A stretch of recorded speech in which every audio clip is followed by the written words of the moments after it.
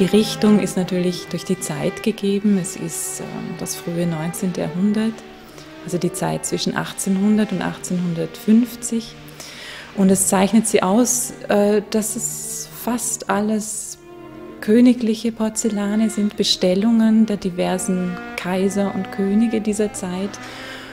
Äh, und die Porzellane reflektieren die Zeitgeschichte. Das finde ich das Spannende an dieser Sammlung. Es gibt Napoleon ist vertreten, der Herzog von Wellington, der große Feind Napoleons.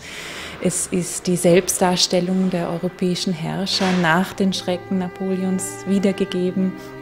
Es sind die Bauten, zum Beispiel die Schinkelbauten aus Berlin zu sehen, die Friedrich Wilhelm III. erbauen ließ und die natürlich dann ganz stolz auf den Prunkvasen zur Schau gestellt werden.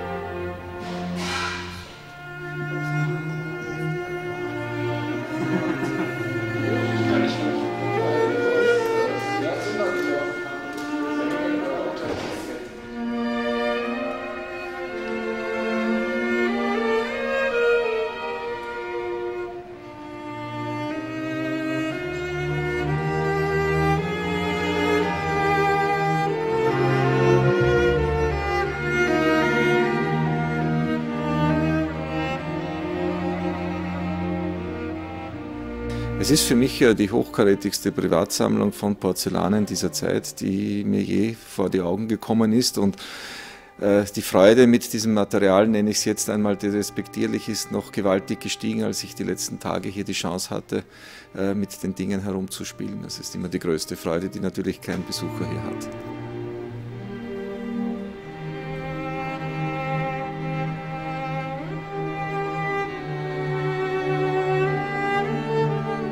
Es ist nichts kaputt gegangen, ich habe nichts fallen gelassen, ich habe mich konzentriert, habe vielleicht sogar etwas mehr geschlafen als sonst und äh, es ist alles heil in den Vitrinen, nicht ein Kratzer.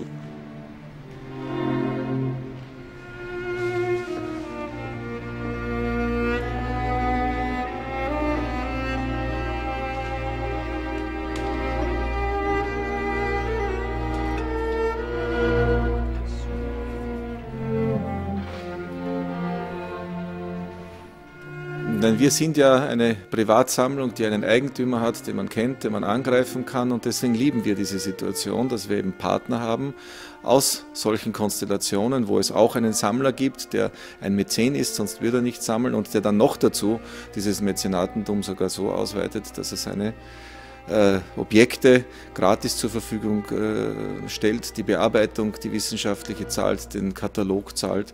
Äh, das ist äh, eine Sternstunde im Museumswesen und äh, ich kann damit gut umgehen.